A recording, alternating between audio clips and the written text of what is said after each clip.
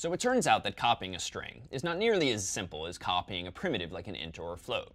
After all, underneath the hood, a string is a sequence of characters. So copying a string, therefore, has to involve copying that whole sequence of characters. Let's turn our attention back to that last implementation and rip out this line, string t equals s, which clearly wasn't sufficient. Let's replace it with a line that looks instead like this.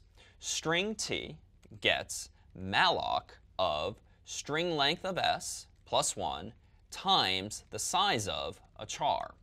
Now, there's quite a bit going on in this line of code. First, malloc, short for memory allocation, and the function does just that. Given an integer, it returns to you the address of a chunk of memory of that many bytes. Meanwhile, the string length of s plus 1 is meant to indicate that we want as many bytes as s already occupies, including its null terminator, the backslash 0 at the end of a string.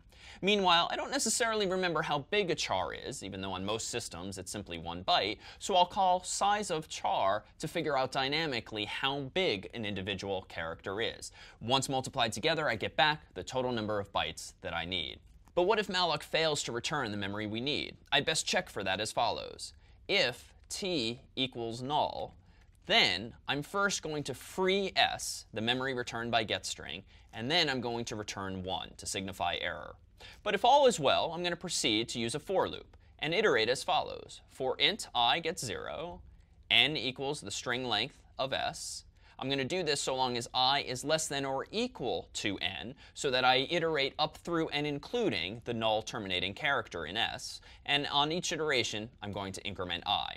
Meanwhile, inside of this loop, to copy s's ith character into t's ith location, it suffices to do t bracket i gets s bracket i.